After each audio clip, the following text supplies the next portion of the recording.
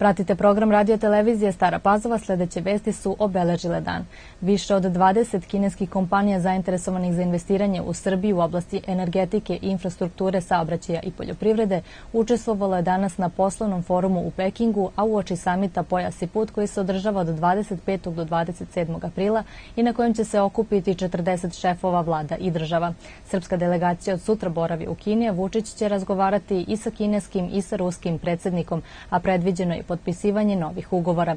Ministar financija Siniša Mali kaže za RTS da odnose između Srbije i Kine nikada nisu bili bolji, te da odnose Srbije i Kine odlikuje čelično prijateljstvo i strateško partnerstvo. Apsolutno ne očekujem sporazum Beograda i Prištine do oktobra i nemam razlog da verujem da to može da se desi, izjavila je danas na Jahorini premijerka Srbije Ana Brnabić povodom pisanja medija da se očekuje da Beograd i Priština potpižu sporazum do oktobra. Brnabić je rekla da nema razloga da veruje u to jer smo sve dalje od dijaloga, samim tim i od konačnog rešenja, kao i dogovora o normalizaciji odnosa.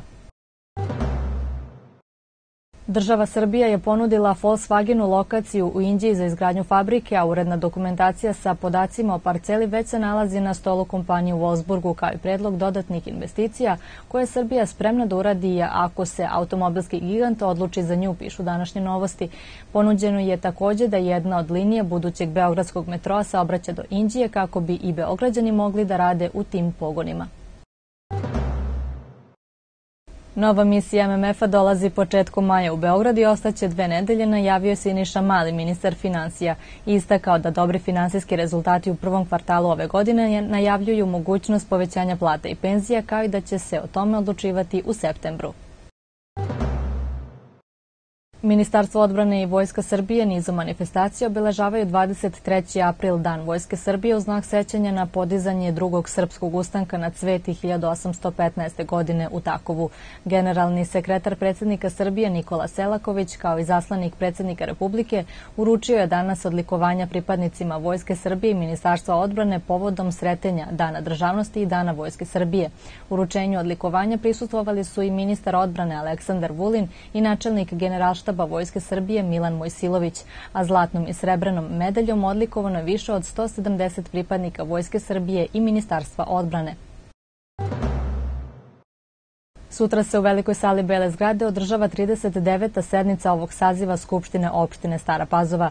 Na dnevnom redu će se naći izveštaj o radu mesnih zajednica Nova Pazova i Novi Banovci, godišnji program zaštite uređenja i korišćenja poljoprivrednog zemljišta, izmena i dopuna plana detaljne regulacije multifunkcionalne radne zone u Stare Pazovi i izmene statuta preškolske ustanove Poletarac.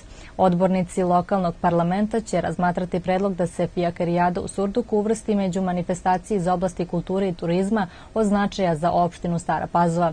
Pred njima će se naći novi kadrovski plan organa opštine Stara Pazova, po kome bi u ove godini broj zaposlenih trebao da bude 150.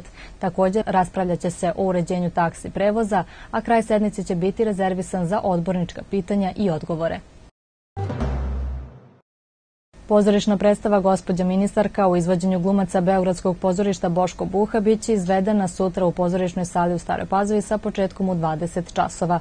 Predstava je rađena po tekstu Branislava Nušića, a u režiji Tatjane Mandić-Rigonat. Karte se mogu kupiti na blagajni Centra za kulturu po ceni od 600 dinara. Košarkaši Crvene zvezde deklarisali su podgoričku budućnost u majstorici u Beogradu i osvojili titulu ABA ligije uz plasman u Euroligu. Mislim da smo sjajno odradili kompletnu ligu i polufinalnu i finalnu seriju, što su pokazali rezultati, odnosno razlike sa kojima smo dobili ekipe na suprotnoj strani, rekao je predsednik Košarkaškog kluba Crvene zvezde Nebojša Čović novinarima posle meča. Srpski tenisar Dušan Lajević otkazao nastup na turniru u Budimpešti i meč prvog kola protiv Mađara Mateja Valkuša. Lajević se povukao sa turnira nakon najvećeg uspeha u karijeri i finala na Mastersu u Monte Carlo, gde je imao probleme sa žuljevima. Druga utakmica finala play-offa Superlige Srbije između odbekašica jedinstva i železničara biće odigrana sutra u Lajkovcu od 17 časova i 30 minuta uz direktan prenos na drugom programu RTS-a. U prvoj utakmici Staropazovčanke su odnele pobedu na domaćem terenu, a titulu prvaka Srbije osvojiće ekipa koja ostvari tri pobede.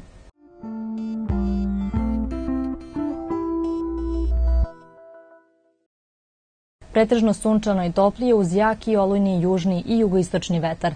Najniža temperatura od 8 do 13, a najviša oko 20 stepeni. Pratili ste vesti, hvala na pažnji i prijatno.